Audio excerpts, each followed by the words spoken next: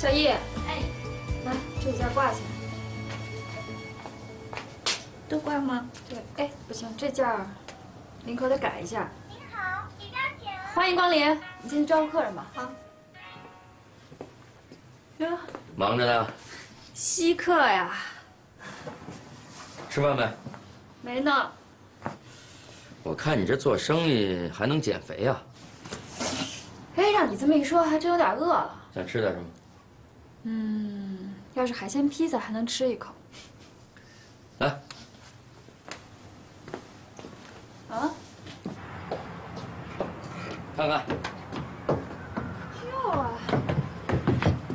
现在知道什么叫默契了吧？嘿，你真是我肚里一条虫。嗯，你来一块。我就不吃了，我刚吃过。嗯。哎，对了，最近 Lisa 没再来找你麻烦吧？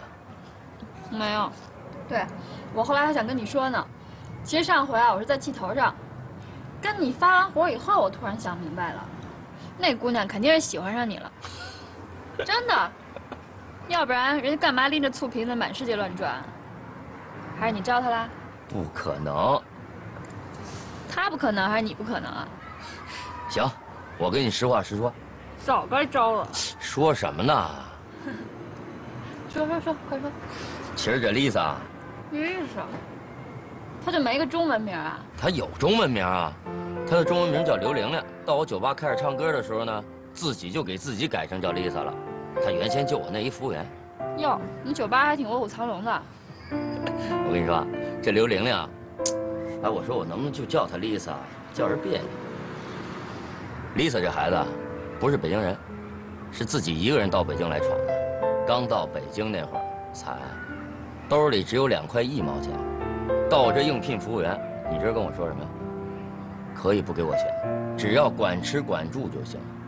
我一看这孩子可怜啊，你说别再给孩子逼得走投无路，上街上碰见个坏人，寻个短见什么的，是不是？我就把他给留着，他呀，就是感激我。他对你可不只是感激那么简单。其实那孩子心眼不坏，人也挺实诚、挺仗义的，就是平时那做派，实在是不招人待见。别跟他一般计较啊，也千万别再生气了。我今儿来呢，主要就因为这件事儿，我这心里不踏实呀。我已经说他了，他以后绝不会再来找你麻烦。你没听懂我的意思，我是说，我觉得这女孩啊，很有可能真对你上心了。我跟你说不可能。怎么不可能啊？其实我现在已经不生他的气了。不过你是没看见，上次他来找我那架势，那绝对是，反正不管你知不知道，你同不同意，在他心里你就是他的人。要不他干嘛对一切女人都严防死守啊？连我都怀疑，还觉得我跟你怎么着似的，太逗了，这都哪跟哪啊？不过你也是，你都离婚这么多年了，怎么没再找一个呀？你是眼光变高了呢，还是因为上次那离婚闹的，对女人没有想法，只有看法了？这 这事你让我怎么说？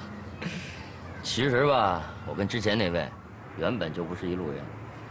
当时也不知道自己哪根筋错了，就愣是把我们俩搅到一个锅里去了。后来明白了，我们俩根本做不成一盘菜，好不好吃也就我自己心里明白。对吧，这过日子过不下去，那不是最惨的，最惨的就是咽都咽不下去，要给自己留条活路的时候。我现在啊，给自己留的活路就是自己跟自己过。这日子呢，虽然过得冷清点但我这心里啊，过得巨明白。你看你说的这一套一套的，跟吃错了药似的。我就不信了，你现在心里没有一个喜欢的人？说实话，有没有？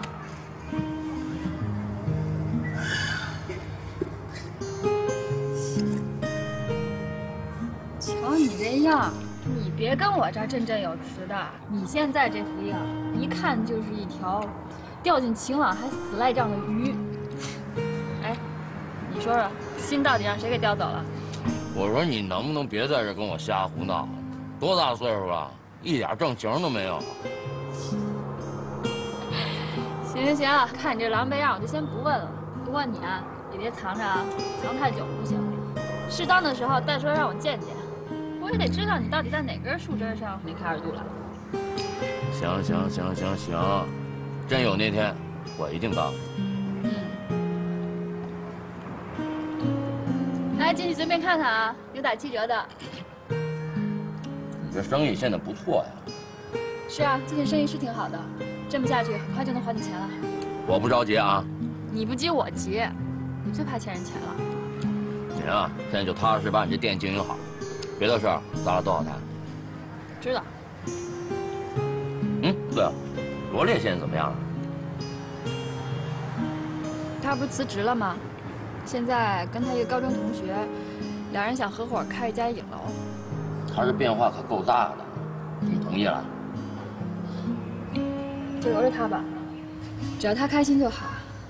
我就是希望他早点从医院的事里面走出来。你对罗烈真是没得说，他能娶你做老婆，太运气了。黑子啊，其实我现在挺担心罗烈的。担心什么呀？我最近老有一种不好的预感。我觉得我跟罗烈可能回不到以前了，我们的生活也不会像以前那样。